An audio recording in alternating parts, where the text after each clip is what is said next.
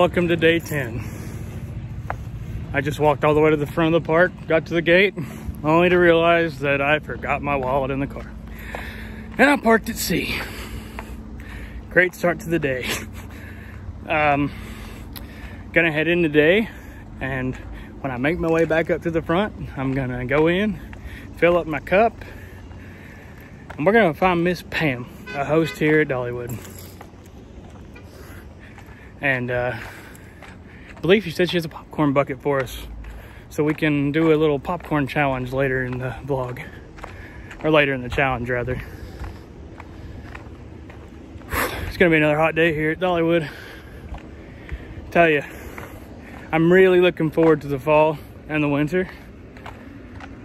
Because being out here in this heat, 30 days straight, no bueno. No bueno. We're gonna make the best of it. And today's video is gonna be a little bit different. I'm gonna show you all some of the shops and I'm really gonna take time to look at all the food options here at Dollywood. So I'm hoping the food festivals are open, the food booths, but I'm gonna wager not. I talked to a host about it and she said that they are just so understaffed right now that they just can't open it.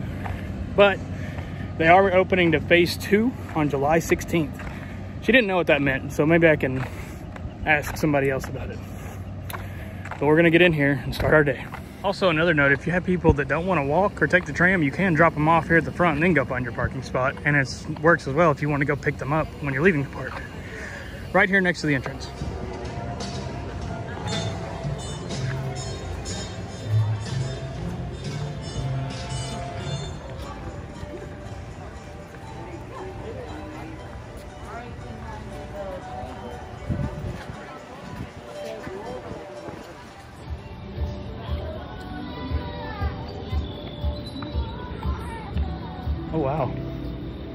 So this was a festival food shop right here and they've taken down the banners and everything. So I guess it just will not open. Sad. I really wanted to try that ganache brownie. But oh well. Let's go see Miss Pam. We just got them yesterday. Hello, how are you? Good. Hi. Good. You don't mind being in it, do you? Oh, not at all. This is Miss Pam. She's wonderful. She's hooking us up with a popcorn bucket and some free popcorn here. So come see Miss Pam if you're here. Have a good day. Thank you. Have a good one, Pam. Hooked us up with popcorn and a bucket. How awesome is she? See, the vlog has its uh, advantages. Right there. Free merch. Love it. So thanks to Miss Pam, we're official Dollywood junkies now. Holding off the popcorn and the cup. We're official. I think we're gonna head back into the village and ride the train. I also would like to find Dolly's secret apartment. I know it's somewhere over here. Let's see if I can find it. After talking to a host, she said that they've tore it down. It used to be right over here in this area and they've tore it down. That's sad. I was hoping to get a picture of it, but oh well. We'll keep moving. So the first train runs in an hour.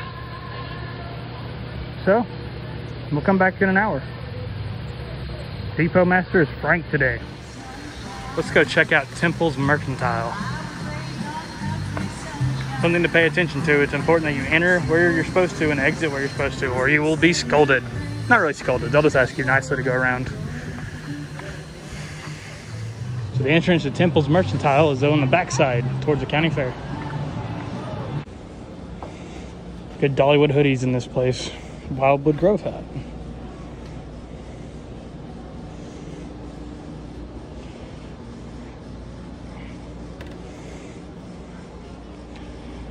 I really like the Dollywood shirts with the bear on it.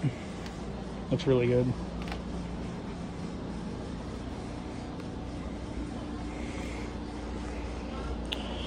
So now the real question is, what do they go for? $16.99 for the t-shirts. $17.99 for the bear shirts. Ooh. I like this one a lot. Dollywood 1986. Don't see a price on them though. Huh. Well, you know the thing. It's free then. Nice assortment of Dollywood hats here. Little candies.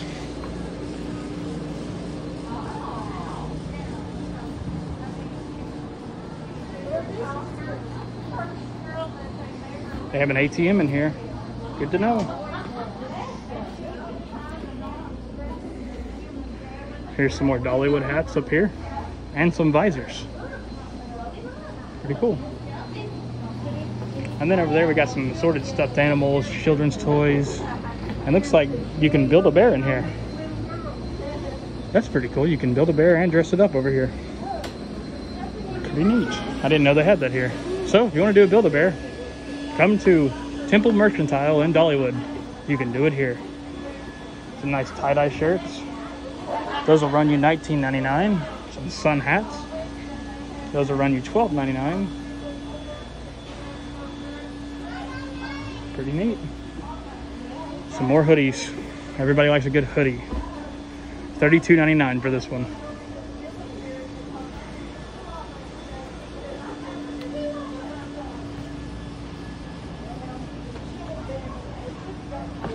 I like this hoodie. Let's see what the price of this one is. $32.99. So it seems to be the uh, same price for the hoodies all around. In this shop anyway. And you got the guns. They used to have pop guns, but I guess they got uh, annoyed with them because like, you'd be walking around the, the park and you'd hear pop, pop, pop all day. All right, let's get out of here. Growing up as a kid, I used to always come over here to this magic shop. I bet it's not open right now, but I used to buy all sorts of gags and stuff and get into trouble in school with like disappearing ink and stuff like that. Doesn't look like it's open though, which is sad. And they used to do a magic show right here. I think they still do, but I just don't know if they're doing it right now. Let's have a look. Yep, it is closed. That's sad. This was my favorite spot to come to as a kid. Oh well. Oh, there's me. All right, so we got an hour to kill till the train, so let's go find something to do. As you see right here, looks like they're taking in another food booth. If you're very hot and you're tired, you can come over here to the Professional Porch Sitters Union and just take a break. Maybe get some barbecue fries from behind you there. It's shaded and they're comfy.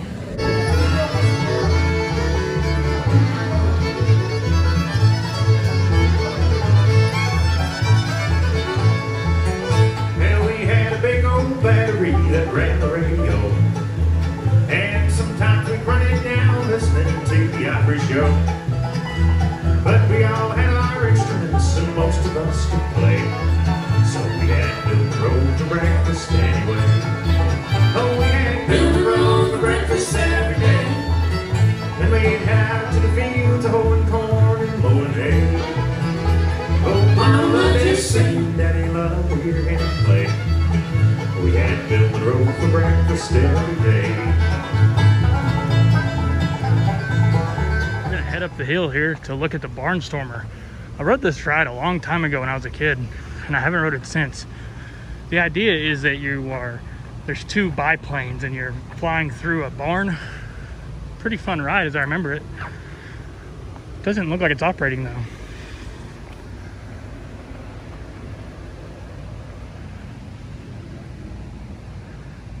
See the dueling daredevils. But I don't see it running. This may be kind of like Daredevil Falls where not everybody realizes that it's here. But eh, let's go give it a ride. Why not? Oof. Just got off Barnstormer. Feel a little sick. That ride is crazy. Haven't rode it since a little kid. I gotta get my hat out. Wow, that ride's intense. Be sure to come check this one out. It's kind of hidden, but definitely find it. Barnstormer. I'm about to show y'all some footage.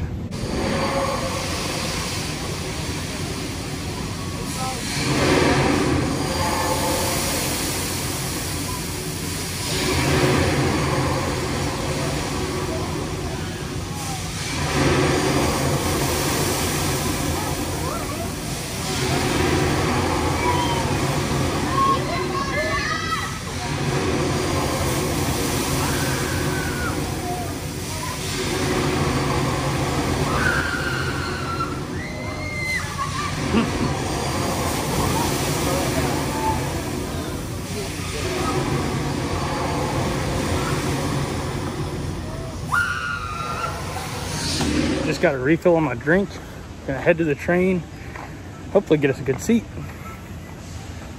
Now, something I don't think they do anymore, they used to actually have a, you would stop on the train ride and somebody would rob you. I don't think they do it anymore, but we'll see. Let's go check it out. So this is the train line, just 15 minutes before we're about to take off.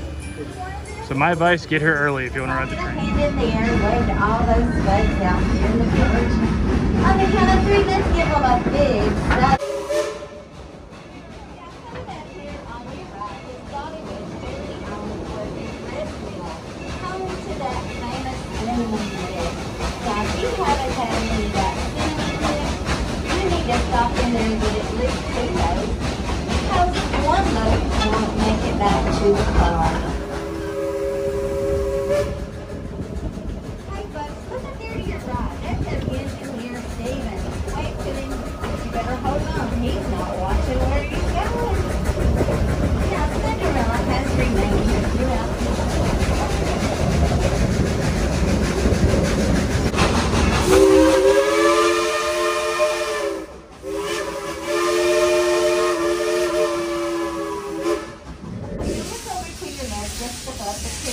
Tree line, you'll see a portion Great Smoky Mountain.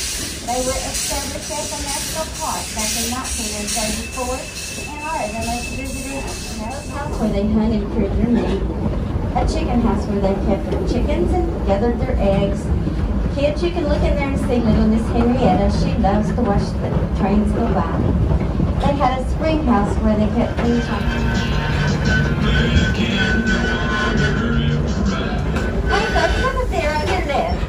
is our fireman, Rob. Now, he's the one responsible for getting us up here today by hand shoveling all that coal.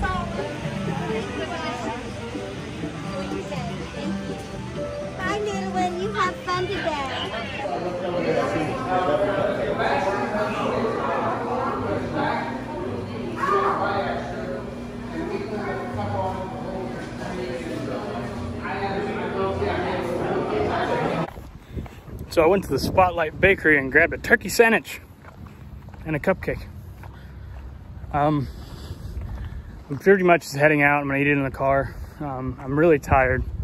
The last four days have been very long days and I haven't had a lot of time to just relax and rest. So I'm leaving the park at noon today, but I got a lot of content and I'm very happy with what we did. So I called an early day today, go home. Need to rest up a little bit because we still got 20 more days to go. So we're one third of the way there. So thanks for watching. Hope you enjoyed it. For now, y'all take it easy.